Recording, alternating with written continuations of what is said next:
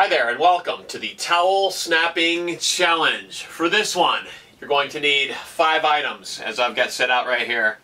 I'm using cans and plastic bottles, but you could use any type of objects that you like. You could use cups, whatever. It does not matter. The idea is that you have to knock off five in a row, no misses. So here we go. The Towel Snapping Challenge, five in a row. There's one, two, two. See, now I had trouble with that third one, so I'm going to have to start over again. Let's start again. Going for five in a row. You get the idea now, right?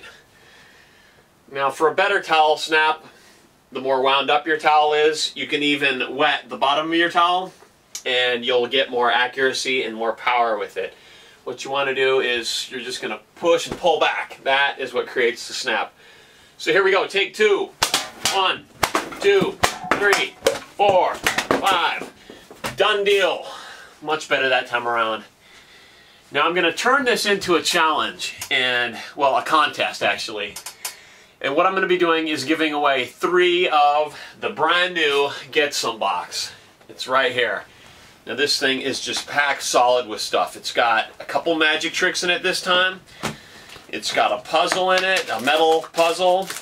It's got lots of different treats. It's got, it's just got lots of stuff. I'm just going to pull it all out. I'm not going to individually show you what this is. I'll just point the camera at it here in a minute. But it is just packed with goodies. Alright? Let me show you what is in here. Alright, I'm going to move the camera over here and you can see. So this is the contents of one Get Some box. Two magic tricks, the puzzle, three pencil trick pencils, personalized. There's the rattlesnake eggs, the balloons made of paper, Pocky, a wonderful snack. These are the uh, sour gumballs. Only one of them is sour in each package. Every burger, this is one of my favorites. This is the flying, what do you call it? It's a flying It's like a helicopter, all right, made of bamboo. These are treats that my sons like. The big katsu. Oh, can't forget the crunkies. What else did I throw in here? The coin and balloon and the floating coins, both in one pack. And some chocolates. So there you go. I'm giving away three of these total. All right, three sets. Set down the camera again here.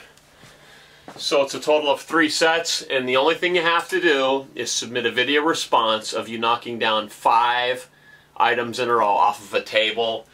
Okay, it can be anything you want. You can use bottles like this, plastic bottles, cans, but you gotta hit five in a row, alright? No misses. And then you'll be qualified for a drawing to win one of three Get Some boxes. So that's it. Go ahead and submit your video response. The contest deadline will be next Sunday. That is the, let's see, I'm looking at my calendar here. Sunday the 29th, May 29th. That's uh, U.S. Pacific time. So there you go. Good luck, everybody, and I hope y'all get some. We'll see you in the next one.